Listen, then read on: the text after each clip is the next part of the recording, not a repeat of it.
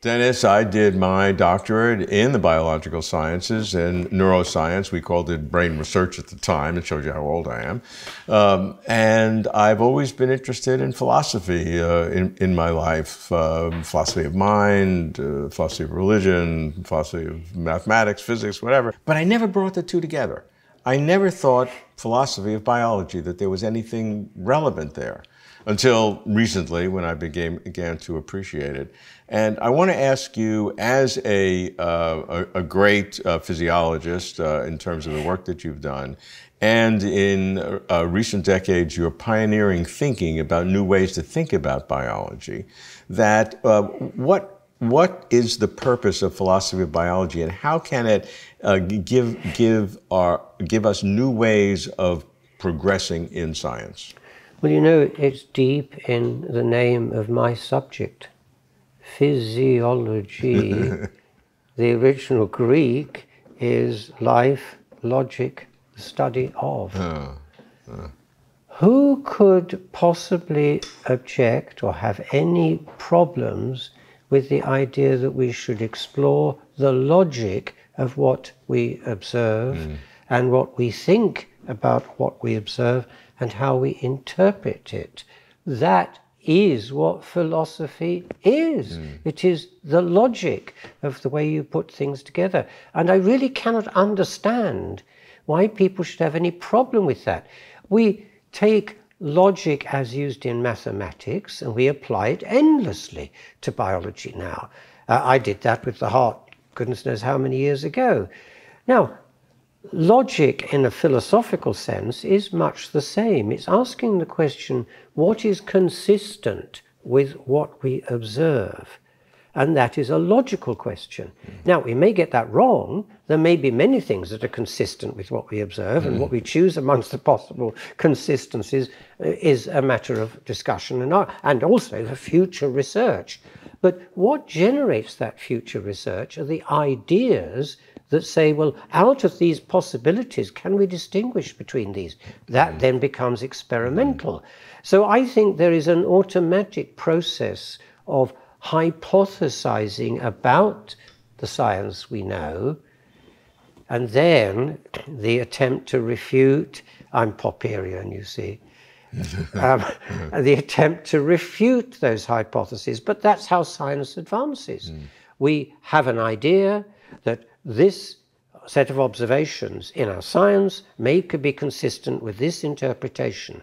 But is there another way in which we can test whether that is true? Mm. That's what I'm doing all the time. Mm. That's my subject. That is physiology, which is the physio of logos, which is the logic of life. And I think that's biological philosophy. And what you are doing, uh, though, more than some, is um, looking looking at mechanisms in very novel ways that uh, are somewhat heretical. Yes, that's uh, right. And uh, we don't want to use the cliche of paradigm shift, but it seems to be appropriate.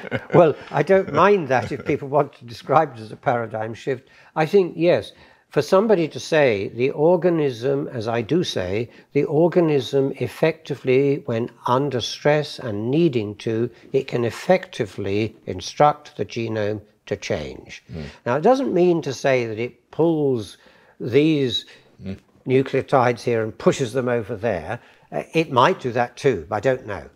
What it means is that that DNA can generate novelty anyway every time it replicates.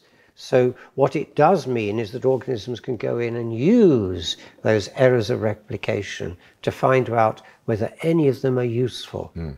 Now, that's the sense in which I think what I'm doing is turning the standard view of genetics upside down. I'm saying it cannot be from DNA upwards to create our body and mind, to quote one author. Mm-hmm. Um, it has to be the case that organisms know when it is necessary to start spinning the wheel of chance, is the way I would put it, to arrive at solutions that they don't yet have. Mm.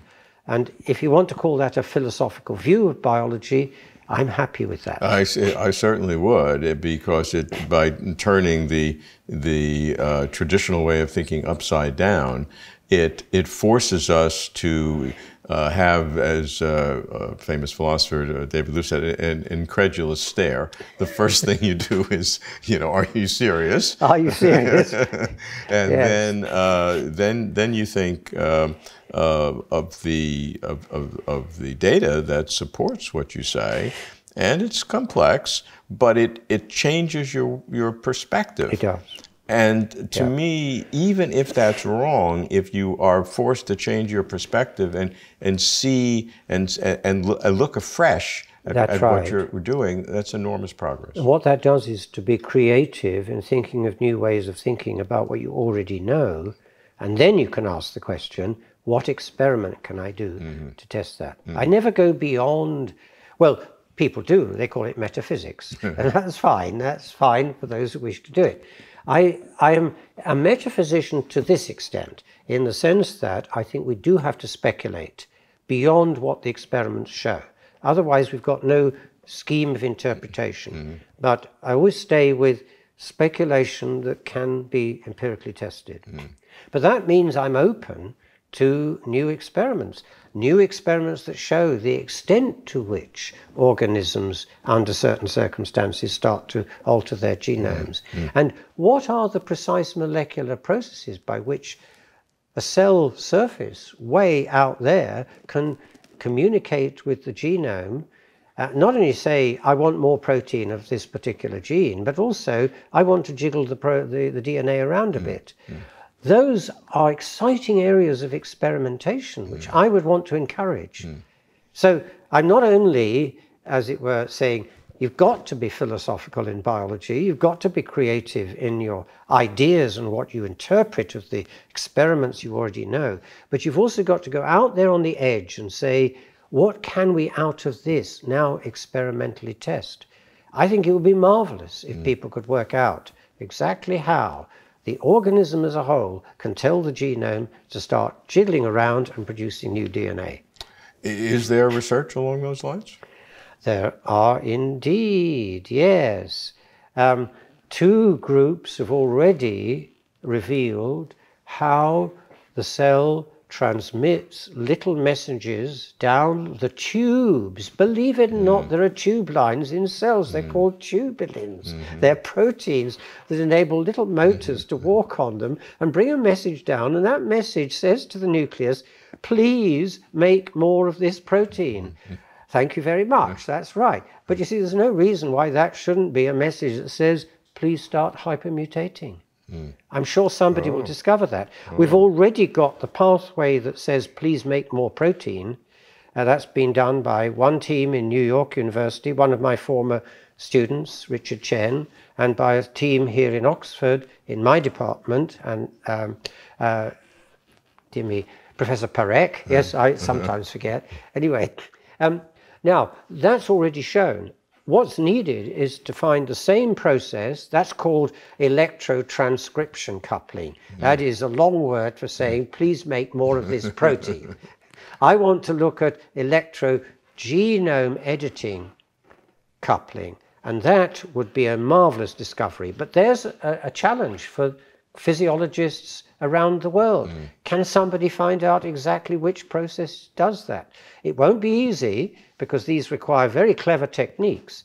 But I think it would be a brilliant discovery. It'd get a Nobel Prize, I'm sure. It, it, and it is a wonderful example of the uh, recursive, iterative uh, approach when philosophy uh, uh, of biology, that way of thinking, can generate a new idea which requires an experiment, which, exactly uh, which so. then triggers some people to begin to think what kind of an experiment, which would go back and, and then uh, re, either reinforce or adjust Indeed the so. original theory. Indeed so. That's the process of the advance of science. Yes, exactly.